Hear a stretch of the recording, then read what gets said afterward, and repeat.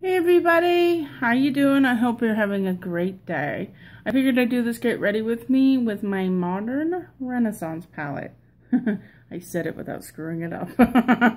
Those two words together goof me every time. Um, but uh, I figured somebody else had comment on here when I said I gotten it, and I'd actually had a couple people who I know and my daily life who have asked me to do it. So I'm going to do one of my looks I've been doing with the Modern Renaissance. Um, I'm going to start with the color Tempera. I wish this was in a like a double pan because I'm going to go through this quite a bit. Um, I've been using it to kind of set the whole eye, which is normally not my thing. I usually just go in directly with color and go for it. Um, I have, uh, one, this color, this pound palette is so pigmented that I'm having, when I put the color down, I gotta make sure I have it in exactly the right spot or I could have issues. And I'm not planning the look today. I'm just going to go with the flow. Um, plus, uh, I'm using a different eyeshadow primer than I've been using. I ran out of my Urban Decays. Um, I'm not using Sin. It I tried it and it makes everything look like glitter that I put on it and not a big fan of that. Some people love it, so I just got rid of that one. I tossed it instead of put, because I couldn't put it in my empties. But uh, I'm using the Lorac behind the scenes eye primer and I find I need to set it or it creases. So that's what I've been using the Tempera for, for setting that. So I'm going to go through this color quicker than I like to make. The next color I'm going to go in, and by the way, I'm using my EcoTools double-sided brush, the Fluffy Plus shader in. I'm going to use the Fluffy brush again, which is what I just used. I'm going into Golden Orchard, which has probably been my most favorite color. It's actually got nice little dip going right now already. I'm going to use this. So I'm going to actually go right underneath the, the uh, eyebrow. I want to say high bone. the uh, eyebrow. Bring it down a little bit on the inside eye to the inside corner. I've already done my uh, under eye concealer and Have foundation on, but I used the concealer to touch up a few spots. I had a bit of an allergic reaction, so I have some serious discoloration going on right now. So normally I don't do a lot of foundation. Well, I, like I said, I don't even have any foundation. I give my It's CC um, illuminating foundation to my sister Sarah. I'm hoping she's liking it. She hasn't told me and I haven't asked, but I gave it to her. Um, I used it a couple times, but it was just didn't blend well on my skin. And the illumination to me wasn't something I really wanted, I decided. So I decided to go ahead and just give it to her. I figured down the road I will get um, the regular one. And I gotta get a better color match. It just, finding the color for everybody is an issue. And I have a lot of pink undertones, but I'm really pale. It's, it's crazy that way. Um, I have an under eye concealer. I use the pink color corrector. I can almost use that straight underneath my eye and it matches my skin when I blend it out. I'm white. I am so white. Alright, I use Golden Orchard, again, top and just down into the inner here. Now I'm going to go in with Raw Sienna. And we're going to go over the lid. Kind of blend that in. Mostly on the ins the the inside lid and the corner. And I like the, using the fluffy brush with this uh, palette because of um, how intensely pigmented are. And this puts it on lightly. You could go in heavier and blend it out. You just spend more time blending. I just rather spend the time building it up slowly. So yeah, I'm hitting the center of the eye and going to the inside edge a little bit just to blend that color in. I'm going to take the raw sienna and go underneath where I put the orchard. Just underneath. So I'm not going down into the crease. I'm not right above it. I'm a little higher. Um, up by close to the eyebrow.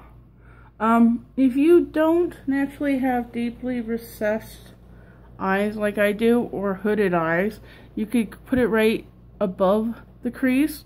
And if you have no crease, then you need to go I met somebody I was talking to her. She had no crease. Her eyelid was pretty much flat. She had a little bit, but nothing major. Um, she and I talked, and what I said is you go open your eye, and you go between here and here. Halfway should be your crease, or just a little below. You want to take this right above where that halfway mark is. And then you'll create that halfway mark is where you want to create that crease.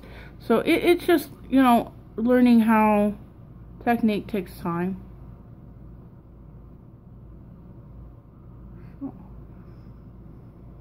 Yeah, it is what it is though. Sorry, I'm focusing on what I'm doing. I was doing my makeup the other day and I wasn't paying attention and I stabbed myself in the eye with my makeup brush. it was funny. I was like, really? Okay, slow down. Pay attention what's going in front of you.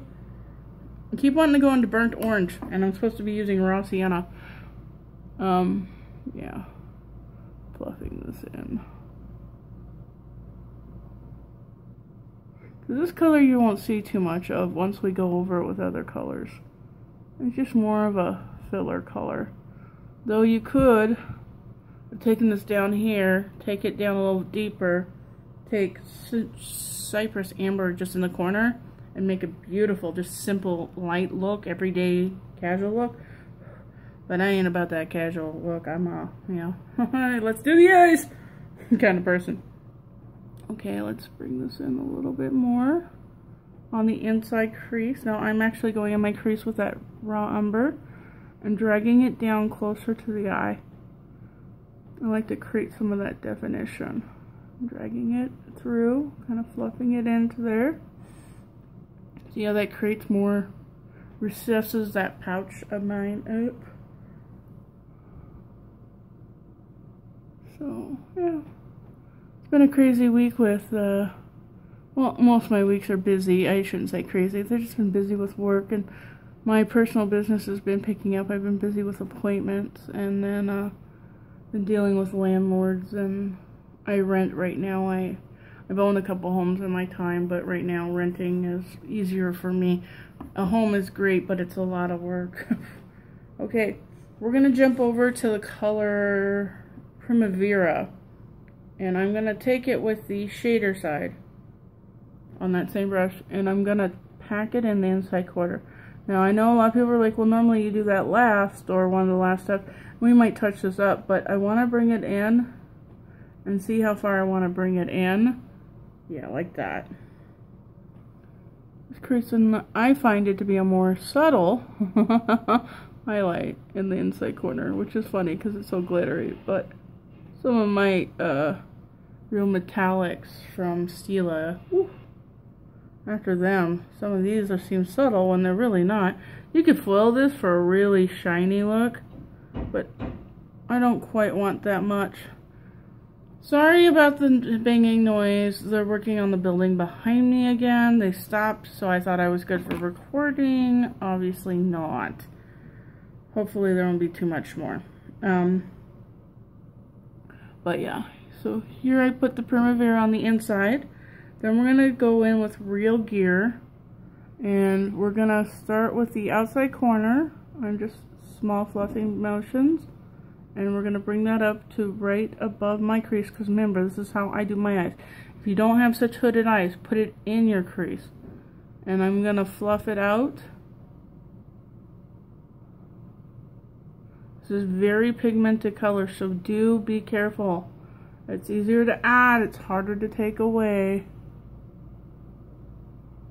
So yeah, I'm just using it to fluff in ever so gently. Sorry, I didn't want to have to redo this again later at night. And I want to wear this out, so I'm going to do the same thing on the other side. Starting in the corner. And going from there. Yeah, I got to get my nephew here in a little bit. My sister called when I, right before I started to do this recording and she says, hey, can you pick them up at 240? Yeah, I can do that. Not a problem. So, she's going to have to figure out what the, uh,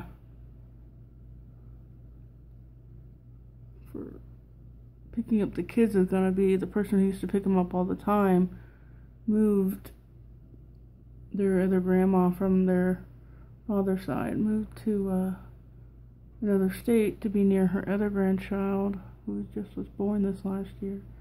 So, can't blame her. Just using the fluffy side to blend it into the raw, the raw sienna. I may have to come back with the raw sienna along the edges to blend it in more. Like I said, these colors, they blend, they build beautifully. Just very pigmented, so don't put too much down. You're going to run into problems if you put too much down. Where you've got a mess and you're trying to clean it up. I do have some fallout. I'll have to clean that up. It's not horribly bad though. Could be way worse. Okay. I'm going to take the Realgar with my MAU 311 shader detailer and we're gonna hit the outside corner underneath. Don't poke myself in the eye. This is the brush I poked myself in the eye with the other day.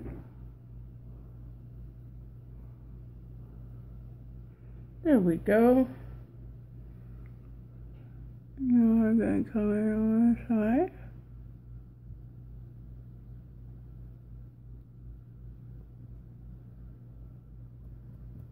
Now we're going to knock off the color in my color switch. We're going to take the raw sienna and we're going to start in the middle of the eye and blend that into the Realgar.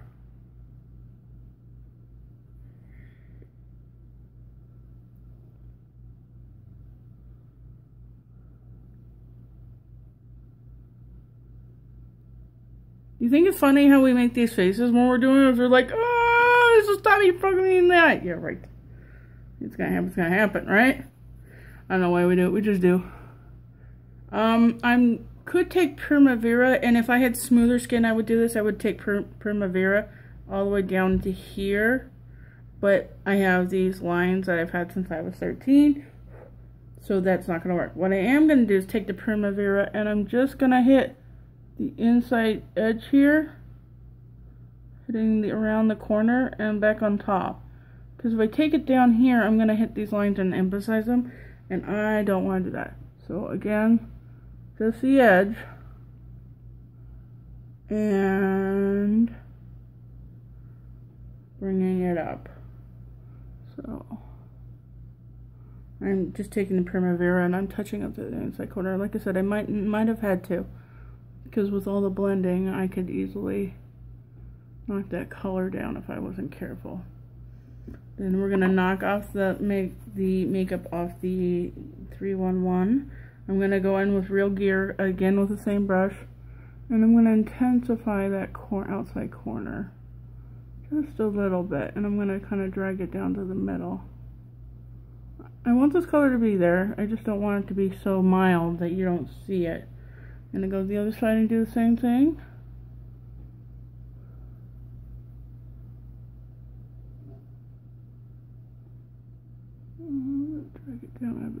Angle just to create more depth. Knocking off the same brush and going in with raw sienna.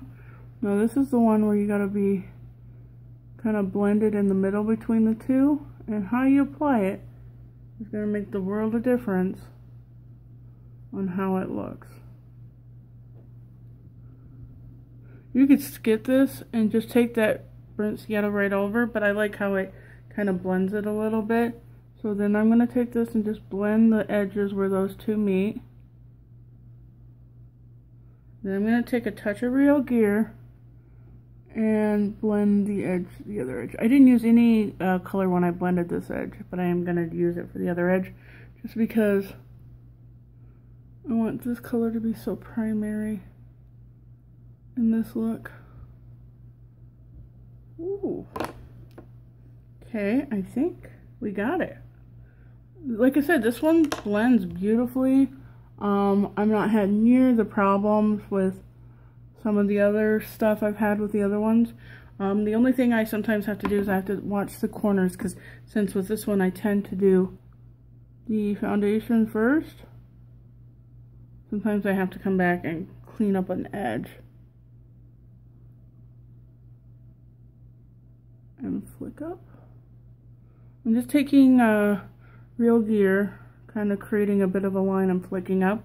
And then what I'll do is I'll take the fluffy end. Mind you, you've knocked all the color off. You need to have all the color, or even grab a clean one and kind of blend that edge so it's not so harsh. Kind of fluff it out, fluff my look on out.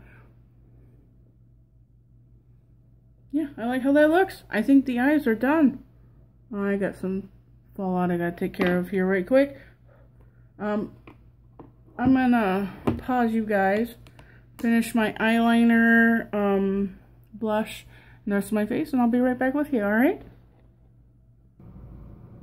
And we're back with the finished product. Um, I'm really liking this look. I think it looks really cool on. I do have my eyeliner in dark brown on from MAU. I told you I was going to try to continue it. I just can't use it every day because my eyes water. Um, cleaned up my eyebrows, but they weren't that bad today. Lip with lipstick is uh, Jeffree Star Pumpkin Pie um, blush on. It's from my California Dreams palette that I'd hold. It's the Golden Hour with the lightest shade on top. I can't remember the name of it. I put it away already. Um, mascara, which I have my Tarteist covering it with the Supersizer on. Um, loving the combination. It gives me a lot of fullness. And then this is more details of what the eye looks like. But um, happy with the look overall. I think it looks really nice. Um, you all have a very nice day. Take care. I've got some running around to do. I gotta go get my nephew from school. Take care. All right. Bye. And deuces.